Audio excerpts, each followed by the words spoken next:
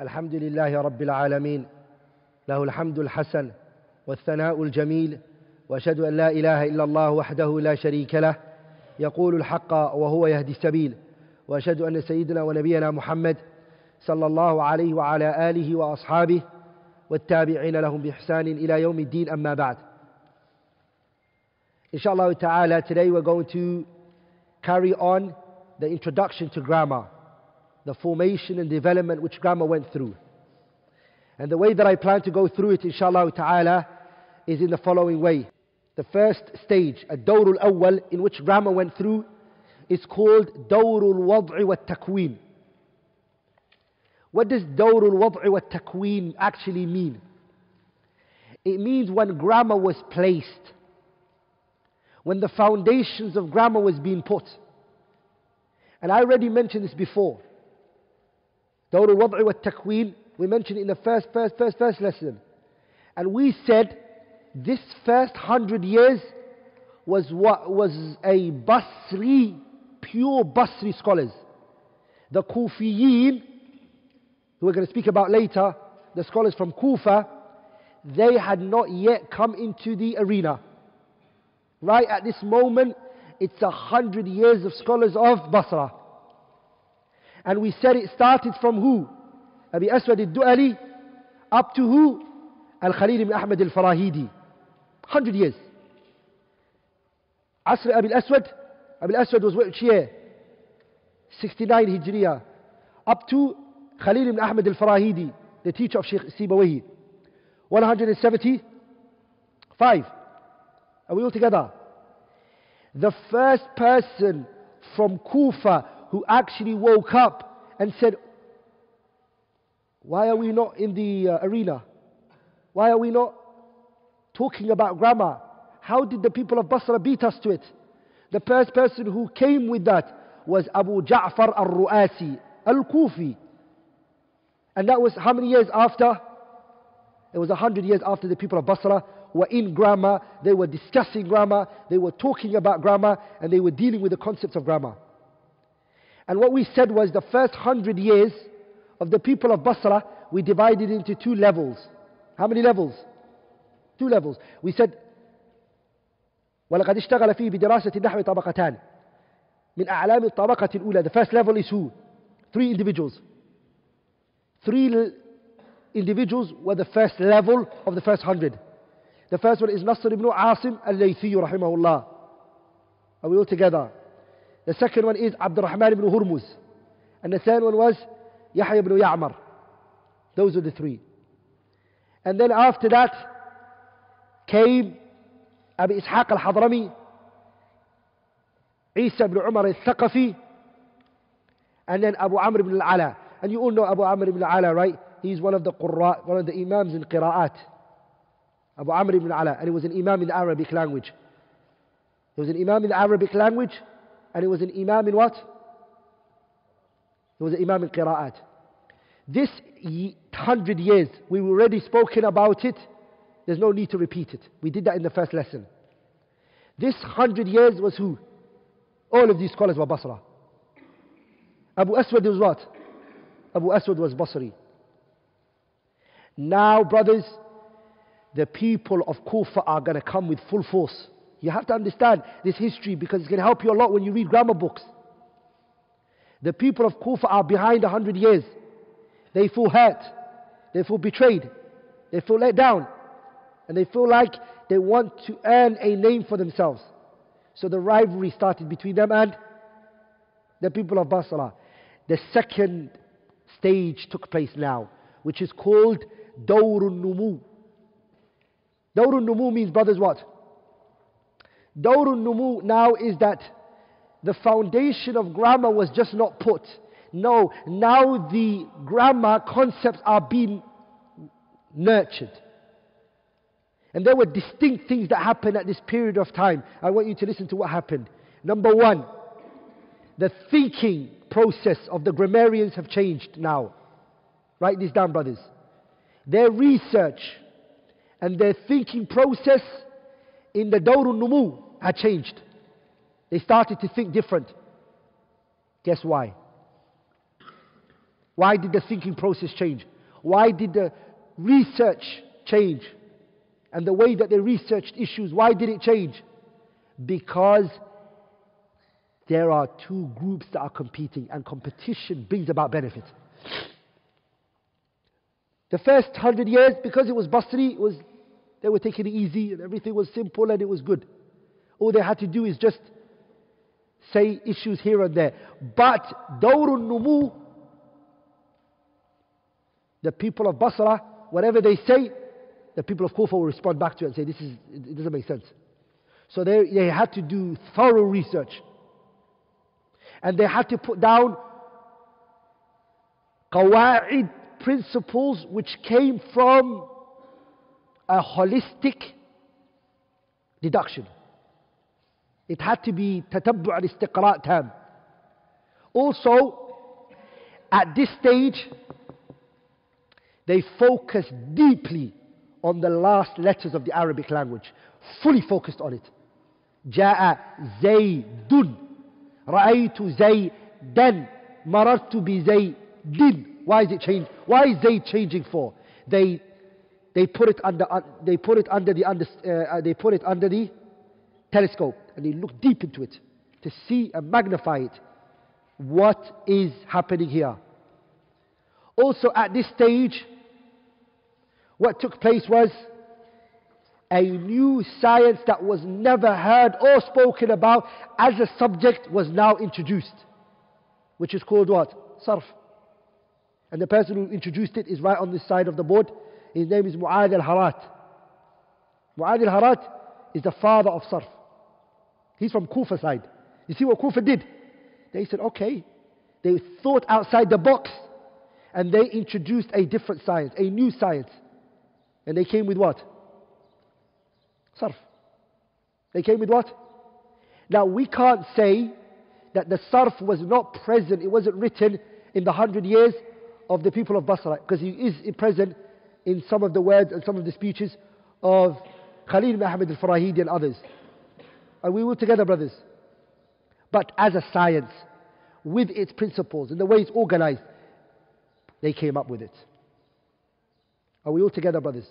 The benefit also that's taking place here in this stage is called Dawrun Numu. The benefit that's happening here, brothers, is the research um, the school of thought in grammar are now two. How many are they? Two. And what are the two? Basra and what? Kufa. Kufa fully rely on what, brothers? What did Kufa rely on? Kufa rely on what the Arabs say. If, the, if they hear the pure Bedouin Arabs whose language has not altered, their speech has not become tainted, there, and they hear them speak, they say this is a way that the Arabs speak, and they, they, they say that's no problem. That's Arabic. Whereas the people of Basra, that's not their, is it called a yardstick? That's not their measuring scale. That's not. Where it is for the people of Kufa. Are we all together, brothers? the people of Kufa is based on qawa'id and principles. Am I making sense here? Am I making sense? So who's easier in terms of studying books of grammar? Generally the people of Kufa are easier. The people of Kufa are generally easier to study when it comes to grammar than it is for you to study the people of Basra. Basra's grammar is a bit, it needs i'mal dhihni. We'll speak about that some other time. So here is the second stage, it's called Dawrun Numu. The grammar is now growing. Numu means what? Ah, it's growing, it's coming up. Bearing fruits now. The tree is bearing fruits. Okay? This was just basic, putting the foundations down, putting the cement down, and how you're building it. The people of Kufa, they were three levels, and so are the people of Basra. But Basra are more in number. Why are they more in number? Because they, they've been in the game longer. Are we all together, brothers? It starts from the first one as Al Akhfash. There are three Akhfash. Remember this all the time. Don't confuse it. This Akhfash here is the teacher of Khalil ibn Ahmad al-Farahidi. He's called Al-Akhfash al-Kabir.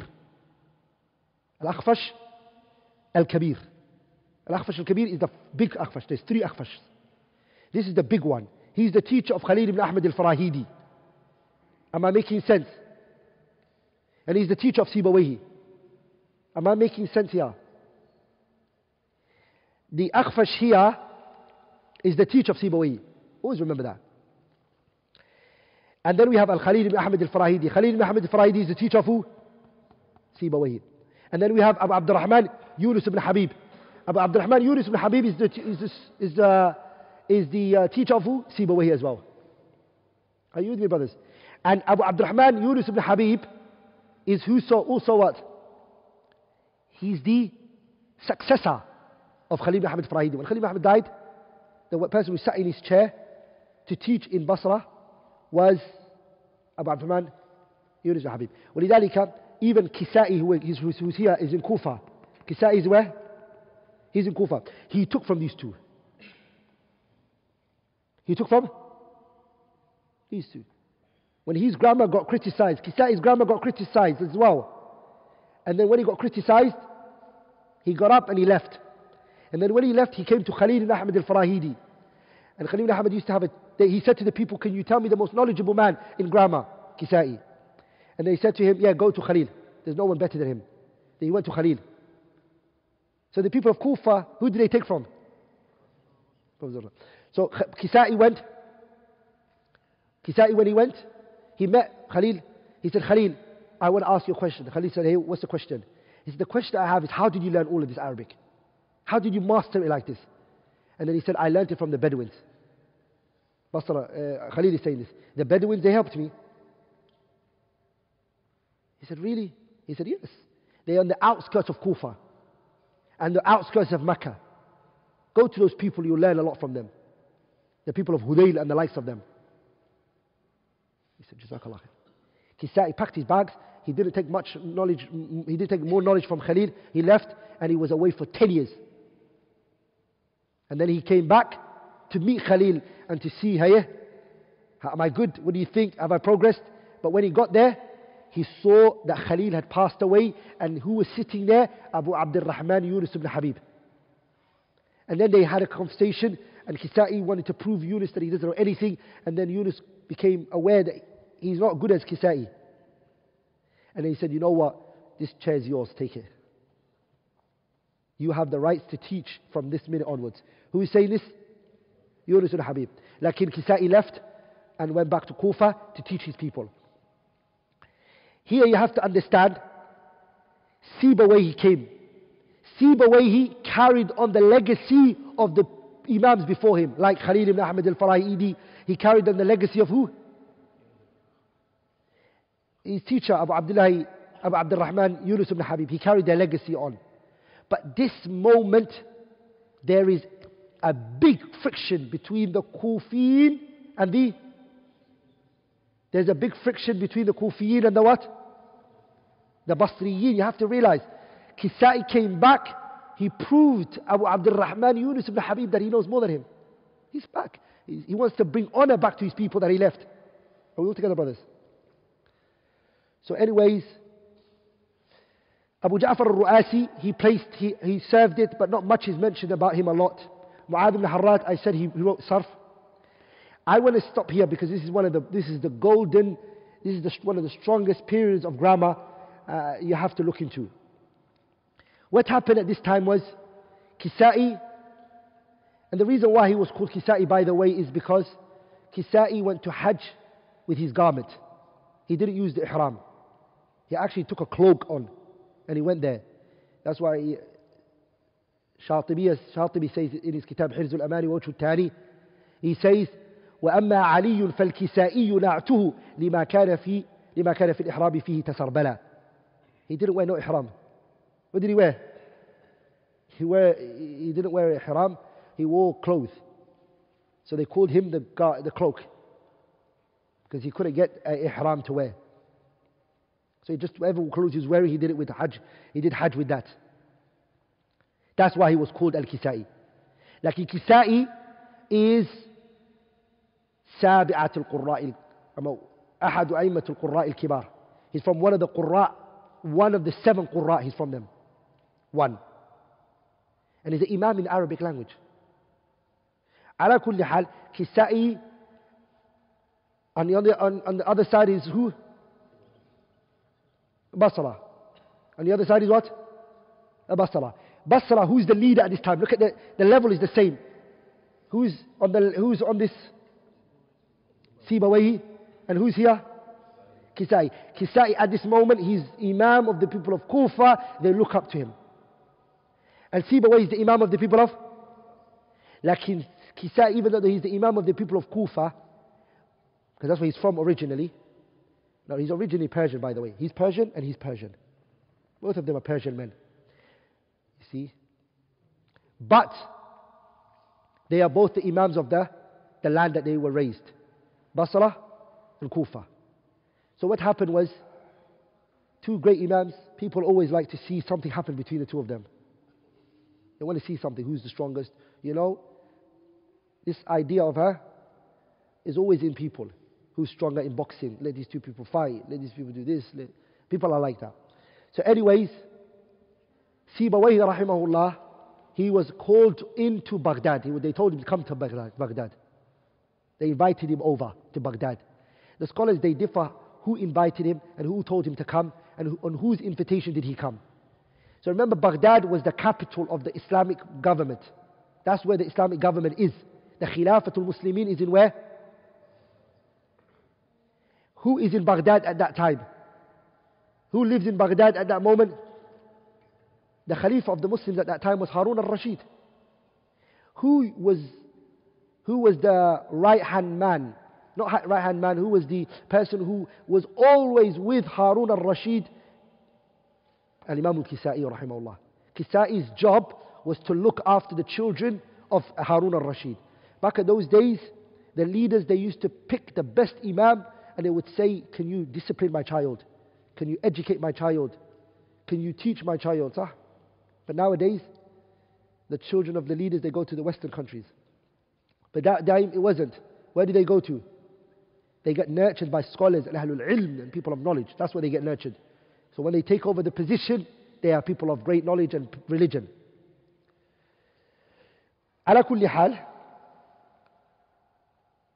No one, the story scholars they differ on who invited Kisai, who told him to come over. Uh, sorry, uh, Sibawahi. Who invited Sibawahi? There is a dispute. Some scholars they say um, Yahya ibn Khalid al-Barmaki was the person who in invitation he came on, and some say no, it's Harun al-Rashid. Ibn Hisham al-Ansari mentions this story in his kitab uh, Mughni al-Labib. Ala kulli hal, Sibawahi came to Baghdad. Came to Baghdad. When he came to Baghdad and he landed, he came into the palace of uh, Harun al-Rashid's palace. But Harun wasn't in the gathering at that moment. Nor was Yahya ibn Khalid al-Barmaki was not there as well. But the, there were two people who were there. Khalaf al-Ahmar and al-Farra. They opened the palace for Sibawayhi and they, they brought him in. Khalaf al-Ahmar and al-Farra. These are the two students of Kisai they welcomed Harun and Sibawayh into the building. They said, Sibawayh, come in. So Sibawayh, he entered, and when Sibawayh sat down, Khalaf al-Ahmar, he said, I have questions to ask you, Sibawayh. Can you answer it for me? So he asked him a question, and then Sibawayh answered and he responded to the question. As soon as Sibawayh responded to the question, Khalaf al-Ahmar said, Akhta'ta, you got it wrong. What you said is incorrect. It was a grammatical question. And then he said, I have a second question to ask you again. When he asked him the question, he said to Sibawayh, Akhtata again. And then he did it a third time. He asked a third question, and he said to Sibawayh, Akhtata, you did a mistake. And then Sibawayh got angry. Sibawayh got angry. And he said, You are a person of bad manners. You have bad etiquette. Your akhlaq is very bad. He said, I am the people of, I'm the Imam of the people of Basra. Who are you? Who are you? What do you, what do you? Al-Farra, he stood up and then he said, My friend here, in him is hastiness and he's a bit too sharp in his speech. To say to you, أخطأت, and you are the Imam of Al-Basra, was not befitting. Can I ask you questions? I have three questions I want to ask you. So he asked the first question. When he asked the first question, see the way he answered it, he said to him, أعد النظرة. Look at what you said again. It's a polite way of saying you got it wrong. But he wanted to avoid what Khalaf al-Ahmar said. He didn't want to say like that. He said, أعد النظرة. Look at what you just said. Sibawayh, he said. He went quiet. He said, second question. He asked him the second question. And he said to him again, أعد النظرة. Third question. أعد النظرة. Sibawayh said to him, أسكتا. Both of you be silent. لا, لا أكلمكما. I'm not going to talk to both of you guys anymore. حتى يخرج صاحبكما until your teacher, the person who educated you guys, comes out. Not long after that, Kisai came out. Kisai came out, Yahya ibn Khalid al-Barmaki and, uh, you know, the whole, everyone came out. They put Sibawayh in the middle and Kisai. Now what you have to understand is, Kisai is in his territory. Where's Kisai? Kisai is in his territory. He's in his land. This is his land. And at those times, the way that debate would happen and the art of debate was, if you were in your land and somebody came and visited you, you gave them the respect of saying, do you want to start or shall I start? That was their way. So Kisa'i said to Sibawayhi. Kisa'i said to Sibawayhi. Shall I ask or do you want to, do you want to ask me? Sibawayhi said, you ask. Ask the question that you have. Ask me whatever question you have. Kisa'i said, my question is the following sentence. كنت أظن أن العقرب أشد لسعة من الزنبور فإذا هو هي أما فإذا هو إياها كنت أظن I used to think I used to I used to think كنت أظن أن العقرب I used to think that the scorpion أشد لسعة من الزنبور that it stung worse than the wasp I used to believe that the scorpion it stings worse or more severe or excessive than the wasp فإذا هو هي and it is as I thought or فإذا هو إياها how should I say it shall I say فإذا هو هي or shall I say فإذا هو إياها this is what their question is okay فإذا هو هي Ama فإذا هو إياها. They just want this here and here إياها. Which one is right, Sibawayh? Imam Ahl al-Basra thought. He said فإذا هو هي. That's right. He said, what about the next فإذا هو إياها? What do you think? He said, it's wrong, incorrect. He said, he said, Akhta'ta. You did a mistake, boy. Now this Akhta'ta, is not like Farra al-Khalaf al-Ahmar. Because this is Imam Ahl al-Kufa. When he says it to you, you can't say, who are you? Because it's the same level. So it hurts Sibawi, that statement. Now let me explain something to you, brothers, as a benefit. Okay? Maybe you may not understand it the first time. But to repeat it many times, you'll understand what the. You have to understand grammatically what's happening here. The word huwa in the Arabic language is a mubtada.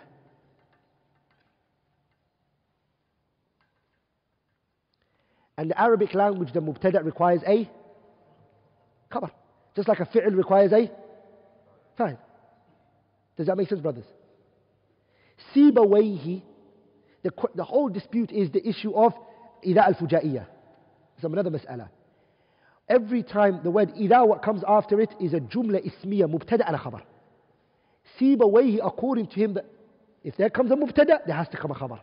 For him this is the khabar. He has the khabar, which is correct.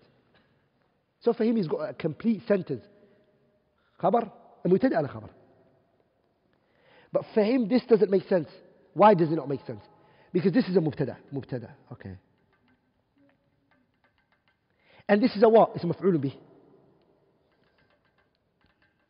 مفعول به so where's the خبر okay that's one question where is he is the خبر there no it's not there according to Siboy it's not there that's one second issue is once you said مفعول به مفعول به comes from a where a fi'l and a fa'il had to be there so where are they are we all together brothers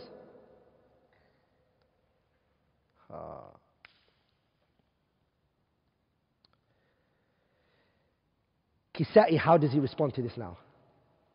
The response of Kisa'i is, Huwa is a mubtada, I agree with you. Siboy, I agree this is a mubtada. Iyaha is a maf'ulun bih.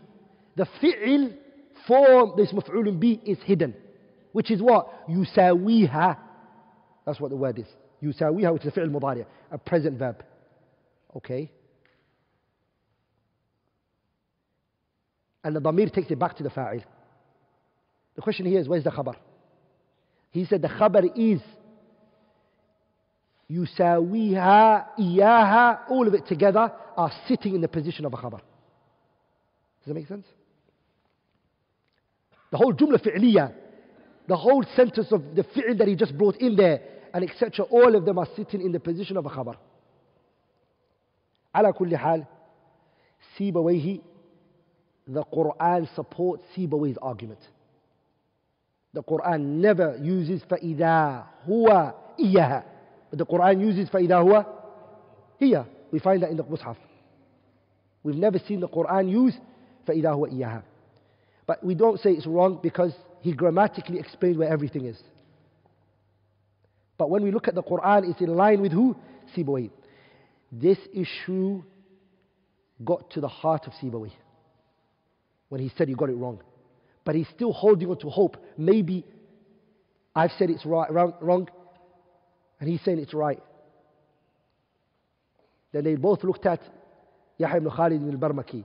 Yahya ibn Khalid ibn al-Barmaki said, listen, if you, Imam Ahl al-Basra, you, Imam Ahl al-Kufa, both of you differ, who's going to who's gonna reconcile between you? Who's the judge? It has to be somebody like you guys. There's no one. The Ummah has, you're the biggest two men in the world when it comes to grammar right now, we have. Who's going to reconcile between you? Kisa'i said, I know who's going to reconcile. Who's going to bring an answer to this issue? Here, the Bedouins who are standing in front of the door. There are Bedouins right outside. Let's go to them and ask them. So they went, the Bedouins were brought in. When they were asked, فَإِذَا هُوَ إِيَّاهَا أَمَّا فَإِذَا هُوَ هِيَ Is it correct? They said both are right.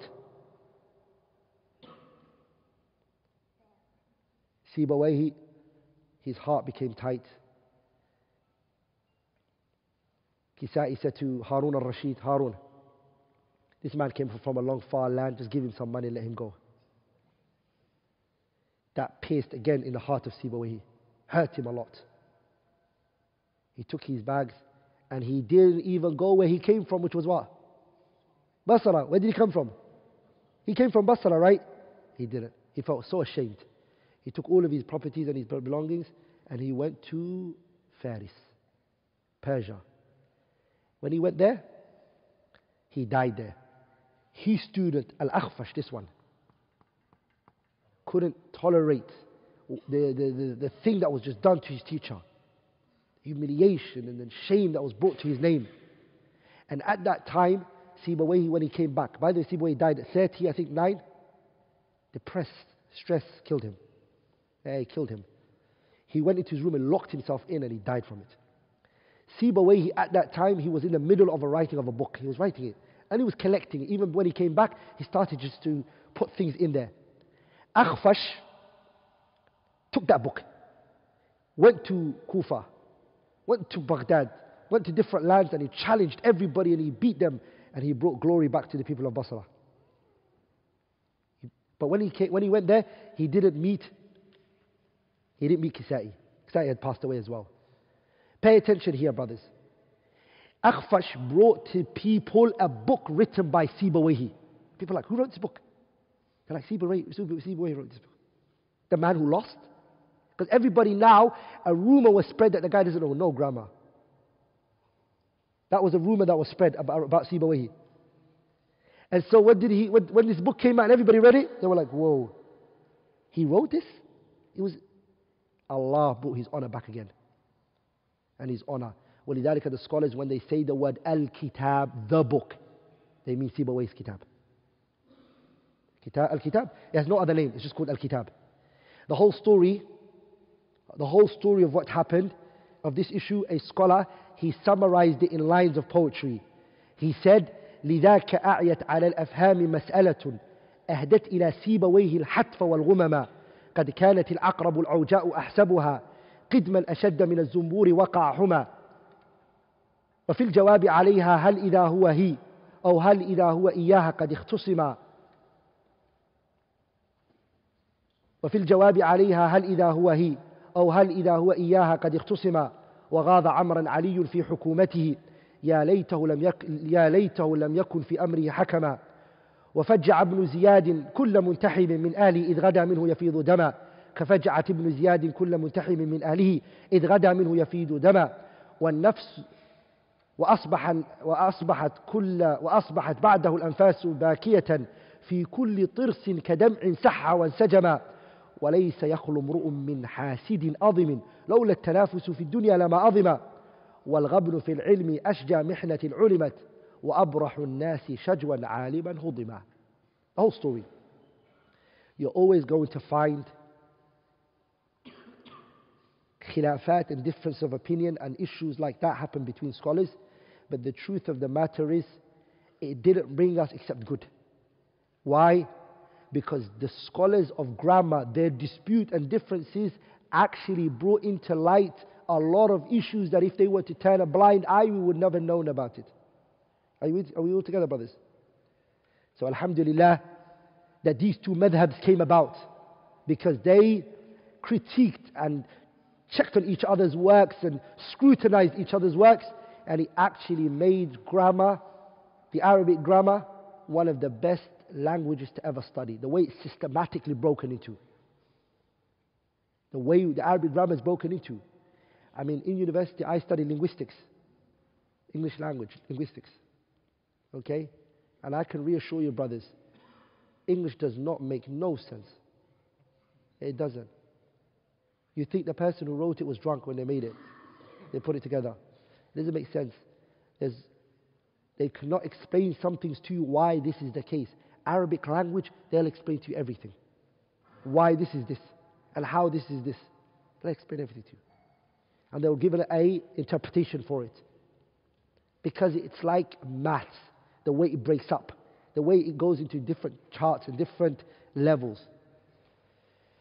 Inshallah ta'ala, next week we're going to do the next door, a door thalith, the third, the third stage, inshallah ta'ala. Any mistake or shortcoming I might have come with is from me and shaitan, and Allah and His Messenger are free from it. Subhanakallahumma bihamdik, ashadu an la ilaha illallah, astaghfiruka wa atubu ilayh.